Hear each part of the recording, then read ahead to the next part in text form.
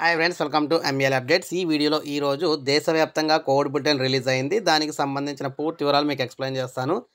ఇక టాపిక్లోకి వెళ్ళిపోదాం. ముప్పై వేల దిగువకు క్రియాశీల కేసులు. దేశంలో కరోనా వైరస్ కట్టడిలో ఉండటంతో కొన్నాళ్ళుగా వెలుగు ఇక్కడ వెలువడుతున్న గణాంకాలు ఊరటనిస్తున్నాయి. కొద్ది రోజులుగా కొత్త కేసులు మూడు వేల దిగువనే నమోదవుతున్నాయి.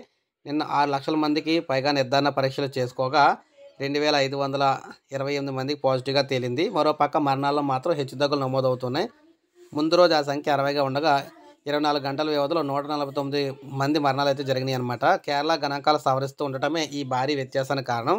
ఇక ఇప్పటి వరకు నాలుగు పాయింట్ ముప్పై కోట్ల మందికి కరోనా సోకగా ఐదు పాయింట్ పదహారు లక్షల మంది చనిపోయారనమాట కోవిడ్ వ్యాప్తి అదుపులో ఉండటంతో క్రియాశీల కేసులు గణనీయంగా తగ్గిపోతున్నాయి. ప్రస్తుతం ముప్పై వేల దిగువ చేరిని. మొత్తం కేసుల్లో జీరో పాయింట్ జీరో ఏడు శాతానికి క్షీణించినాయన్నమాట. సో ఈ కేసులు నిన్న మూడు వేల తొమ్మిది వందల నలభై ఏడు మంది కోలుకోవడం జరిగింది.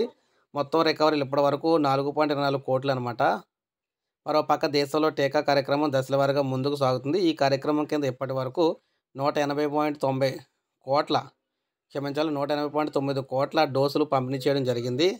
నిన్న పదిహేను పాయింట్ ఏడు లక్షల మందికి టీకాలు అందించారనమాట సో ఇది ఈరోజు దేశవ్యాప్తంగా కోవిడ్ అప్డేట్. ఈ వీడియో నచ్చితే లైక్ చేయండి సబ్స్క్రైబ్ చేసుకోకపోతే మన ఛానల్ సబ్స్క్రైబ్ చేసుకోండి.